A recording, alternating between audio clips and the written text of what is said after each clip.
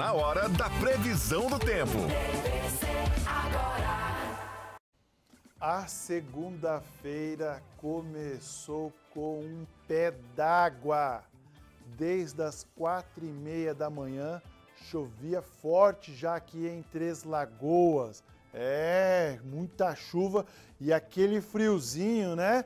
Pois bem, a Mari avisou na semana passada aí a chegada desta frente fria, trazendo bastante chuva para Três Lagoas, na verdade para todo o Mato Grosso do Sul, e ainda de acordo com a previsão do tempo, não estão descartadas as possibilidades para tempestade. Inclusive, na última semana, essa tempestade chegou em Ponta Porã, causou um estrago no município. A gente ficou aqui na torcida que venha chuva, mas venha calma, venha serena, fique tranquilo. Ainda bem que não veio a tempestade. Vamos abrir a janela aqui do TVC agora, vamos dar uma espiada pro lado de fora. Ei, rapaz, segunda-feira de tempo carregado, céu fechado, nublado.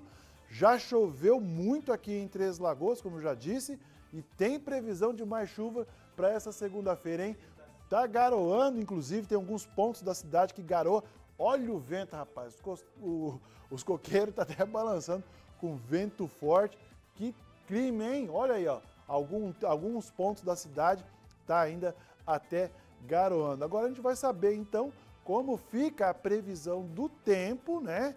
Para amanhã aqui em Três Lagoas e também boa parte da costa leste. Dá uma olhada aqui.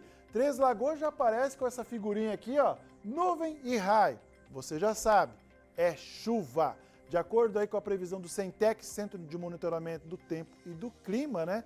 A mínima registrada para terça-feira será de 22 graus, com a máxima de 30 graus. Em Brasilândia, cenário não muda. Mínimas de 21 graus e máxima de 27 graus. Tem previsão de chuva também para Brasilândia. Em Água Clara, a mínima será de 22 graus e a máxima de 30 graus. Isso aqui já indica, já sabe, é muita chuva também para Água Clara. Virando a página, vamos até Aparecida do Taburrado. Mesma coisa, meu amigo. Tem chuva para lá também. A mínima será de 21 graus e a máxima de 30 graus.